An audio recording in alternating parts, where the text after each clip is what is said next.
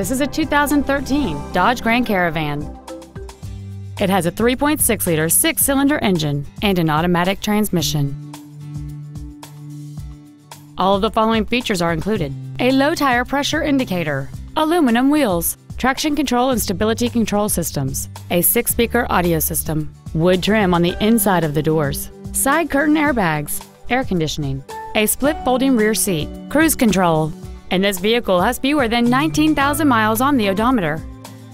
This vehicle won't last long at this price. Call and arrange a test drive now.